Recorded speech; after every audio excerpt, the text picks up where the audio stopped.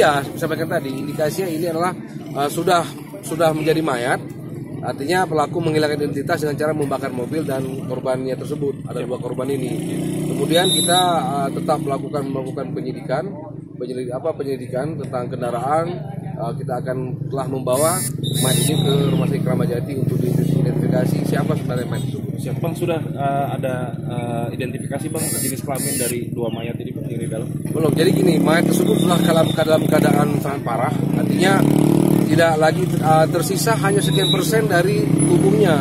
Jadi hanya tersisa itu hanya tulang belulang, tulang belulang karena uh, sudah membusuk dan cepat terbakar.